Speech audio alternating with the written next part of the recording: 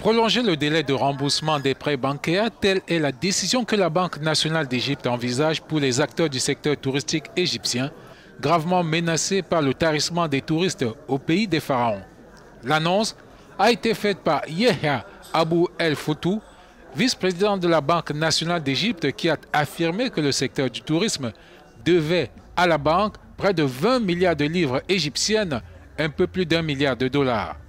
L'initiative vise à aider le secteur à se remettre rapidement de la désaffection de la destination égyptienne après une série d'attaques terroristes.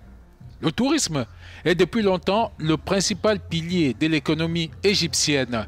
Après la chute du président Hosni Moubarak en 2011 du fait du printemps arabe, le tourisme employait un travailleur sur dix et générait l'équivalent de 12,5 milliards de dollars de recettes.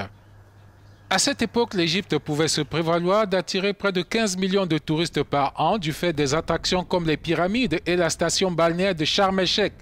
Le crash d'un gros porteur russe en octobre dernier, doublé de l'insécurité dans le Sinaï, ont gravement porté atteinte au tourisme égyptien.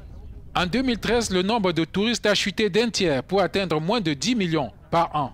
En 2015, les recettes ont atteint 6,1 milliards de dollars, à peu près la moitié du chiffre de 2010.